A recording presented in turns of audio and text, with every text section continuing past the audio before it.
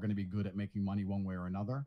I think we now live in a world where you have spectators and you have people who produce. It's the world is split in a binary divide between the two, and not everybody is designed to be a producer. Some people are designed to be a spectator. If I was obviously I am a producer naturally by heart because I've lived a very diverse life. I have a lot to say, and I consider not it doesn't matter what I consider. People consider my words valuable, obviously. So here I am. But if I was a spectator, let's say, and I didn't feel like I had the confidence or the knowledge or the charisma to sit on a camera and interest people, then I would try my very best to prove myself useful to a creator. And by joining their ecosystem and working alongside them, that's probably the best and easiest way to make money. There's a whole bunch of people out there that have the star factor, but they don't have the systems and the teams around them to truly be successful. So I would come along and say, listen, you can be the, the showman. I'll be the blood and guts underneath, and uh, we can do very, very well. I truly still believe, as fucked as the world is with the matrix and the suppression and the inflation and the Fed and all the shit we talk about, if you're a person who can turn up on time with a firm handshake, oh who is, shit, who is genuinely competent, who doesn't lie to anybody, you're going to be fine. You're That's a destiny take. Yo, I'll vibe off that 1 million percent. The one thing that you can always do in life, you can be the most worthless, retarded, crippled, fucked dude, like ADHD, whatever the fuck, every problem.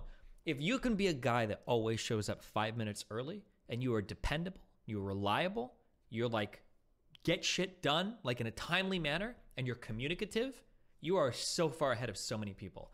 Um, I've said this so many times. You can ask Cake, you can ask Jader, you can ask Mr. Moot, you can ask Dan. There have been a lot of premium talent people that I've had the, I've worked with. And then there have been like middling talent people. And if you can respond to an email within 24 to 48 hours, if you can deliver on a deadline, if you can communicate really well, you are so much better to work with than like the struggling schizophrenic artist who's like an amazing artist, but they're not reliable. They don't communicate. They'll go months without returning an email that you have no, you can't keep track of it all. Like being a person that's just like five minutes early everywhere and is ruthlessly dependable is so fucking good. That is such a good skill to have. Holy shit. Never going to starve. You're always going to be able to make good money if you're a genuinely honest, hardworking person. Yep. I've never met a ho- honest, hardworking person who will be there at 9 a.m. like you ask him to be, who completely fails at life. Yeah. So I think a lot of people who are still out here failing, they have a bunch of excuses. And yeah, we talk about how hard it is, and it's true. But if you're genuinely about it and you can find somebody with that star factor and align yourself to them, I think you could make money no matter who you are. That's I think the best way to make money. So basically, be a YouTuber. It's not No. about being a YouTuber. It's not. It hasn't even got be a YouTuber. It can be anything. It can be a. You can find a Sorry, fucking star laugh. I'm sorry. salesman and find a way to help his ass.